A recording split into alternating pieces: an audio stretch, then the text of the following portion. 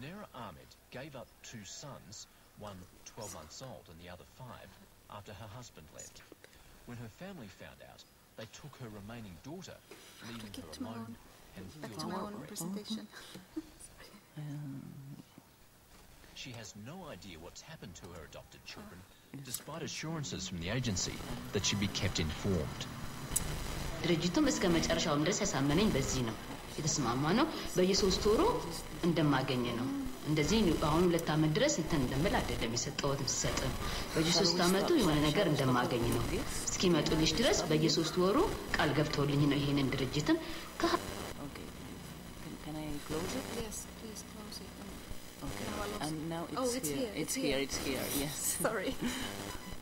Okay, and now it's just to find yeah. the place. Okay. Thank you. Sorry, I'm so hopeless with technology. Um, so for for the women I interviewed, it's and this this seems to be whenever we encounter the birth mothers, it seems to be the picture. It's the same story we are hearing. Um, they don't forget about uh, the child. Maybe I'll just read one um, mother's uh, cita- quote, which is very typical. I don't know what time. I mean, she had her child adopted two and a half years ago, and she was saying to me, I don't know what time I'll ever forget it. I just wondered, will my baby one day ask, Mom, where were you when I started to walk? Mom, where were you when I started teething? And that's quite bad. And quite often, um, it was having their other children that made them strength to go on. But most of them actually would have wanted some information. And I'm now counting the, my numbers differently because people have suspected that um, these would be just be very troubled mothers, like a special case. But actually, from the ones I met at random, because I did, it, it's not a self-selected sample. Well, some of it was, but not all of it.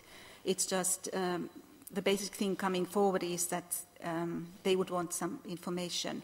I mean, they don't want to lose the contact. This came came across, and it does apparently uh, those who were getting some letters via from the social workers um, said that it, it, they're, they're very tangible objects. They can retake the letters and photographs and put them away.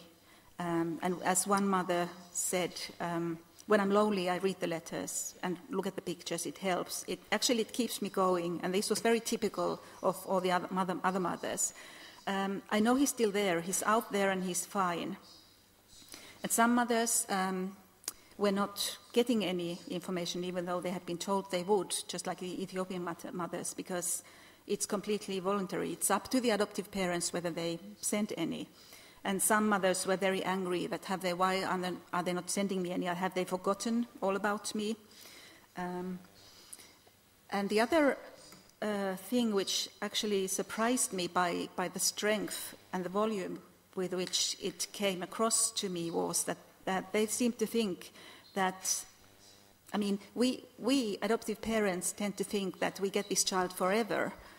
Um, but the mothers seem to think that the child will return at some point uh, when, when they're 16 or 18. Um, and this comment is made by um, an illegal immigrant from Zimbabwe. Uh, she said to me, very surprised that I would suggest that when I, when I talked about the child having, having gone, and she said, Oh, but that baby, she will come maybe after 18 years. She wants to see me. And another one said um, very strongly that, and, and I mean, you just wonder how will this illegal immigrant ever, I mean, how does she ever find the child again or the child find her? Um, there will be a time that that child would like to see his mother, and then I will be available, I will be ready at that time. And other mothers saying in that even though, even though the child is not living with me, I mean, that doesn't mean he's not still my child in, in some way. And this comes back to, to the issues of, of the different notions of parenthood. that They come, they come up very, very strongly here. Uh, so the ones who had actually met uh, the, the adoptive family, um, they were very in South Africa. They were very carefully monitored, like lasting for 10 or 20, 10 minutes, five or 10 minutes. Um, uh, the way they seemed to talk about the adoptive family was um, very um, reverent in a way and very polite and very reticent. They weren't saying much. And of course, here we come to the issue of how much they're actually able to tell to some white woman um, from the other parts of the world doing the interviews. But, but they talked about better parents, good people, and they're nice and how grateful we are. Um, like one mother said, I have nothing to give to the child. Maybe those others can give everything, you see. So there's the hierarchy making itself known. Um, and also, uh, many of the birth mothers I interviewed expressed a wish to go there themselves if they could. Um, uh, and one was saying that they even, the adoptive family at the meeting, told me that in their country education is fine. That's why I was so happy because me, I could not go to school. Uh, even now, I still want to study. So um, there was this issue. And of course, even um, even the, the, mothers would, would realize that the, the real thing that adoptive parents are interested in is, is the baby. Like one of them said, they, were, they didn't want to talk so much, they just want the baby only. So they're wanting to send their children um, to, to safety.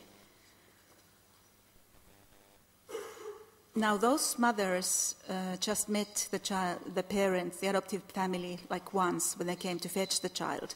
But there's one um, who's exceptional in, in a case that um, she has two children adopted to the same family in Europe. And she, she met the family when they first came to fetch uh, the younger son, and now they came back six years later, and the six year old to, to adopt another sibling. And now she also met the six year old, which makes it a very interesting um, happening. And it wasn't just for five minutes, it went on for, for two and a half, half hours.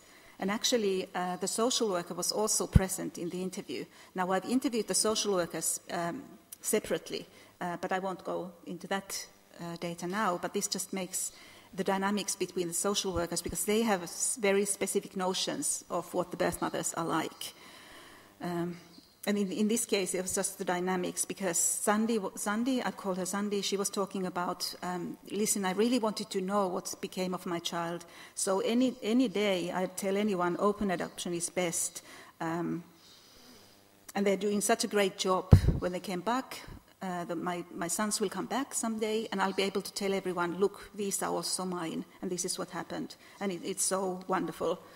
And of course, at this point, and, and in the end, she also says, Oh, I feel as if someone is just looking after them for me. And at this stage, the social worker reacts, Oh, oh, but um, the, don't you think the boys were meant to be there? It's such a wonderful, lovely family. Um, the boys belong there. And because it wasn't going. And also about the meeting, um, it went on for so long that the social workers was worried that how are we going to bring it to an end? Um, because it just went on. And this is how Sandy describes the meeting of, with her six-year-old. They came back. Uh, it was so wonderful to meet them and see how they were and to see my son again. And they tell him about me and his brother. And then she, the adoptive mother, told him something in their language, and then he responded to her. But the way I made it out to be was he asked, Is this my mum? Uh, but she had obviously prepared him and told him I'm his mum. And he looked at me, and he just came and sat on my lap. And it was as if he wasn't away, because he just came and I kissed him and I lifted him, and I remembered everything. And in the letter, they also say that he's asking about me. So he's going to want to come and see me, I know, because we connected um, so well. And then the social workers become worried about how to end this session. Um, and, and you, under, you, you, see that they don't even have a common language um, here. And she would also wish to, to, be to have the contact in email, uh, and a few other birth mothers also would have wanted to, but the social workers think it's too much. I mean, email is maybe interrupt, interrupting too much because it's the same time. And, and this social worker, for example, said, oh, that would be totally inappropriate. I mean, then you could ask them, well, what are, what are the boys having for dinner tonight? So there was this feeling of knowledge, but not, uh, not too much um, contact. And now I still have some time, so I, we can have a look at the, the adoptive parents. How, how do they feel about openness? I mean, we've heard about the fears of adoptive parents, um, and certainly um, the fear was there, but more, um, more uh, when the adoption was first, first done. So in the early years, there was a lot of issues about the other mother, the other parents. Like parents, sorry, uh, told me how they tried to talk to the child about the other mother, and the word mother would be stuck in their throat, and they wouldn't be able to, sorry, sorry, tell the child. Um, but there was a big change uh, in how the parents felt as years went on. So four to five years after the, after the adoption, um, a big change. Uh, parents felt stronger in their adoptive parenthood, um, and they wanted to be able to answer their children's questions. Um, and also, some of them reported of, of the sadness in, in their, well, in this case, it was four 10 year old girls who burst into tears unexplainably um, and said they were so sad they, weren't, they didn't know anything about the other family. And this, this re, uh, re, result is also um, coming across from other studies. I mean, Rhoda Scherman and Wendy Hawke studied uh, adoptive parents in New Zealand.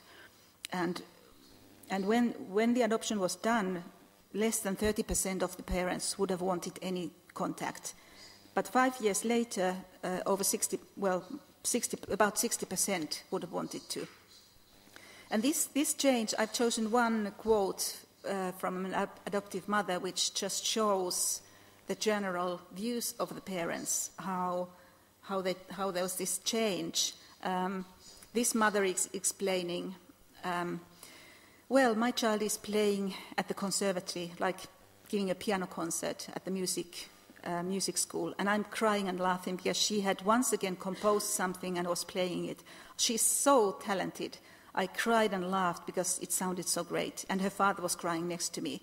And at the same time, I'm thinking, I so hope the birth mother could know that it's her daughter up there, so that one could share these special moments, what the mother is missing, she means.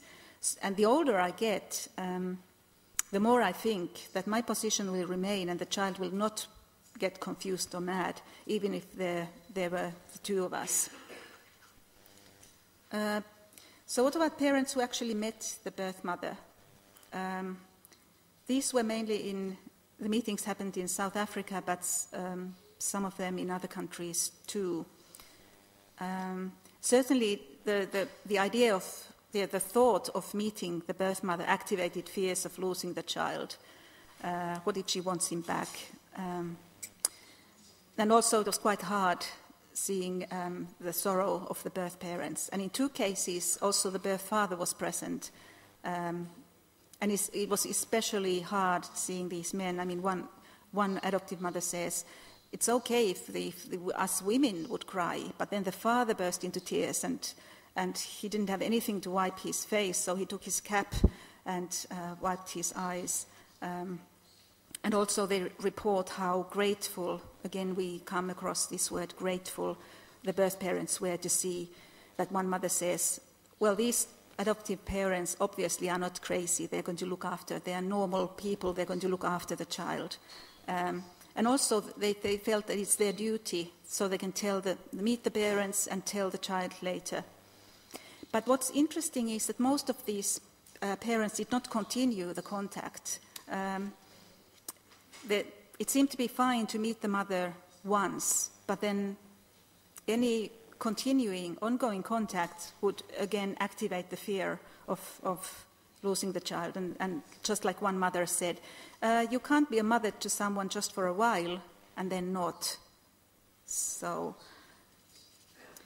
uh, let's quickly look at the three families who were in contact, in ongoing contact with altogether four families, two in birth families, two in some African countries, and one in, Lat- in a Latin American country. Mm, in the others, uh, the children were still quite, quite young, but in, in one of them, uh, the adoptive